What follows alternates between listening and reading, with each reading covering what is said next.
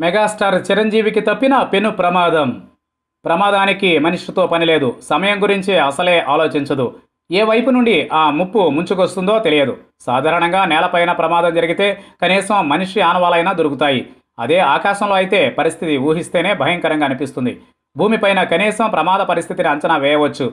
గగనంలో జరగరానిది జరిగితే ప్రాణాలు గాలిలో పోతాయని తెలుసు కూడా. ఏం చేయలేని స్థితి. ఇప్పుడు అదే జరిగింది. ప్రజల అభిమాన నటుడు సినీ వినీల ఆకాశంలో ఇప్పటికీ వెలుగుతున్న మన మెగాస్టార్ చిరంజీవి గారికి త్రుటిలో అతిపెద్ద ప్రమాదం తప్పింది. భగవంతుని అండదండలతో కోట్లాది అభిమానుల ఆశీస్సులతో మరోసారి గగన ప్రయాణం నుండి సురక్షితంగా బయటపడ్డారు చిరంజీవి. మెగాస్టార్ చిరంజీవి ప్రయాణిస్తున్న విమానం ఎమర్జెన్సీ ల్యాండింగ్ అయింది. ముంబై నుంచి హైదరాబాద్ వస్తున్న విస్తారా ఎయిర్లైన్స్ విమానం సాంకేతిక లోపం రావడంతో పైలట్ అప్రమత్తమయ్యారు. టేక్ ఆఫ్ అయిన అరగంటకే మళ్ళీ విమానాన్ని వెనక్కి తిప్పి ముంబై ఎయిర్పోర్ట్లో ఎమర్జెన్సీ ల్యాండింగ్ చేశారు. ఆ సమయంలో ఫ్లైట్లో మొత్తం నూట ఇరవై మంది ప్రయాణికులు ఉన్నారు. విమానంలో సాంకేతిక కారణంతోనే ఎమర్జెన్సీ ల్యాండింగ్ చేసినట్లు తెలుస్తోంది.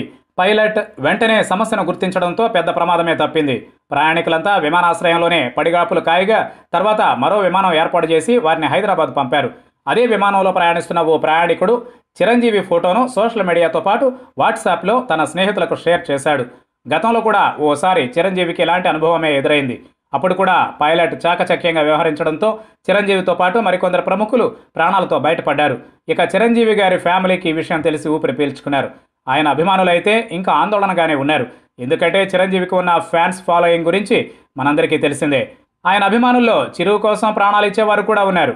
ఇక ఈ ప్రమాద విషయంపై పూర్తి సమాచారం అందలేదు.